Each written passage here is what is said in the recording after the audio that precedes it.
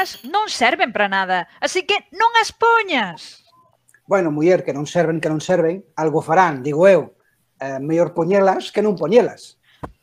Tamén podes poñer un fular, que ben che vale, porque en realidade as máscaras só serven cando estás contaxiado. Pero e se estás contaxiado non o sabes? Non, non, non, non. Mellor poñalas de todos os xeitos.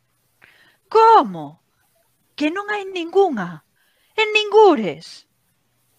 Ben, pois, pois o que dicía, non poñades máscara que non serven para nada. Non hai que ir aos hospitais. Só cando haxa unha emergencia, unha emerxencia eso sí. Eh? Que, que cando é unha emerxencia? Se ves que estás morrendo, é unha emerxencia clara. Aí sí que tes que ir. Se non é unha emerxencia, queda na casa que total, o COVID-19 é como unha gripe, entendes? Non é... Eh, ben, é como unha gripe forte. Bueno, é, a ver, é moito peor con a gripe. Que poida que morras. Pero ti queda na casa a menos que esteas morrendo. Despois de ir ao supermercado, deixa os zapatos na porta e lava a roupa a 60 graus. Se a lavas normal, o virus non marcha. Darlle voltas a roupa na lavadora a menos de 40 graus non mata o virus. Xa cho digo eu. Pero se te lo virus nas mans, con que as laves dos minutiños xa o mataches. Os animais non poden contaxarse. A ver, en Bélxica un gato deu positivo en febreiro. Como? Pero se daquela non se lle facían probas a ninguén. Pero este gato sí que lle fixeron. Aí era tan feitiño, que aí nos a todos tan ben. Pois os animais en xeral non teñen COVID-19. Bueno, só algúns. A ver, non sabemos cantos están contagiados porque non lles facemos probas.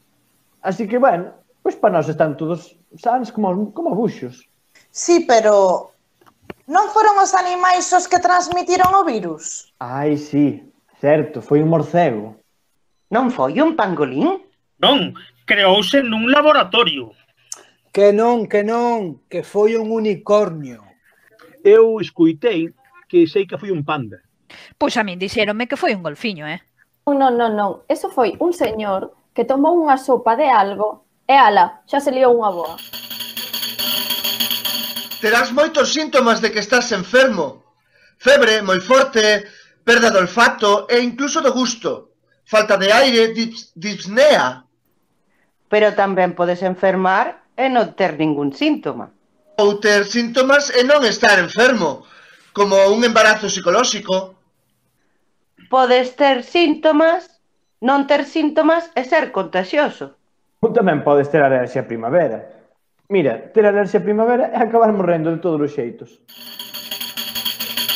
Para non estar enfermo, tes que comer ben e facer deporte. Come o que teñas a man e non saias facer deporte. Na casa tamén podes facer deporte. Hai un montón de vídeos, un monte de vídeos. Todo mundo está a facer deporte na casa.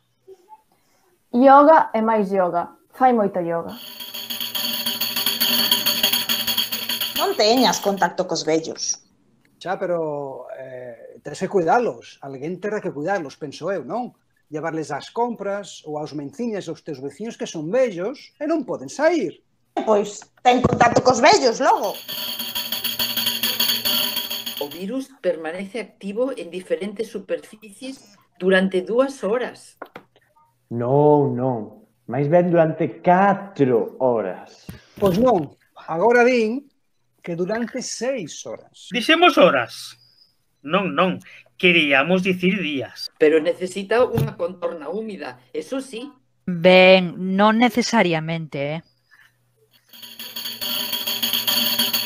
deberíamos permanecer confinados ata que o virus desapareza. Pero só desaparecerá se chegamos a unha inmunidade colectiva. E para eso temos que deixar de estar confinados, non é?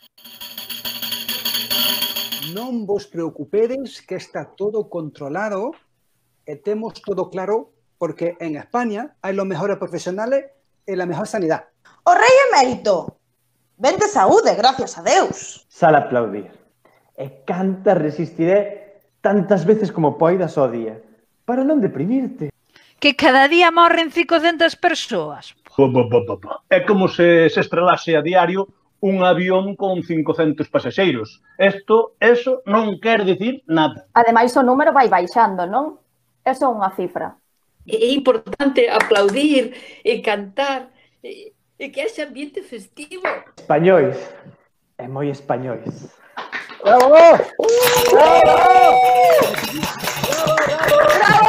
加油！加油！加油！加油！加油！加油！加油！加油！加油！